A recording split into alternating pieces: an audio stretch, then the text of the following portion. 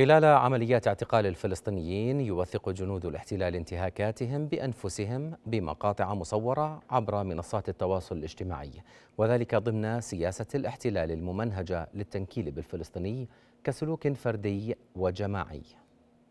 إسرائيليون يداهمون فتى فلسطينيا في سريره ينام إلى جانب أشقائه الصغار. هذا المقطع الذي نشره أحد الجنود عبر حسابه الشخصي على منصات التواصل الاجتماعي.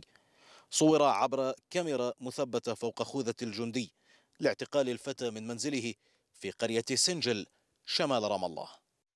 التنكيل بالفلسطينيين خلال عمليات الاعتقال التي ينفذها الاحتلال بات سياسة تقرأ بوجهين كسلوك جماعي تدعمه حكومة اليمين وتحمي من يمارسه من الجنود وكسلوك فردي يستعرض من خلاله الجندي فكره المتطرف والمبني على عقيدة الانتقام من الفلسطينيين وكراهيتهم. من هنا يأتي نشر الجنود لتوثيق جرائمهم كنوع من استعراض ما يصفونه بالإنجازات.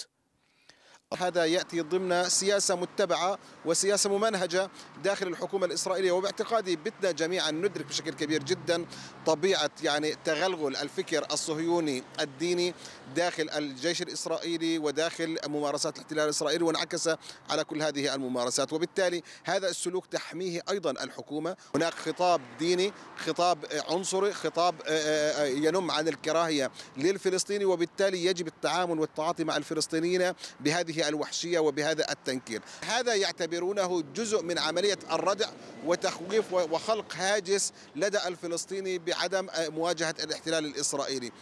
رصدت مؤسسات حقوقية ومعنية بشؤون الأسرى ارتفاعا في وتيرة التنكيل بالفلسطينيين خلال اعتقالهم فيما يفيد أسرى محررون أن هذه الجرائم حتى وإن ازدادت همجيتها بعد السابع من أكتوبر إلا أنها لم تكن مرصودة لأنها لم تكن موثقة.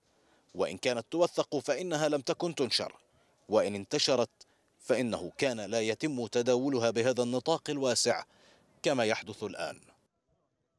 الجندي الإسرائيلي يعتبر نفسه محمي بالقوانين الإسرائيلية من قضايا الملاحقة من قضايا المحاكمة من قضايا التعرض إلى المساءلة أمام المحاكم الدولية لأن الاحتلال الإسرائيلي والجيش الإسرائيلي عود الجيش الإسرائيلي في تنفيذ حماية كاملة ولهذا السبب حتى عمليات الإعدام التي التي يقوم بها جنود الاحتلال الإسرائيلي وعمليات التنكيل لا يتم مساءلة الجنود.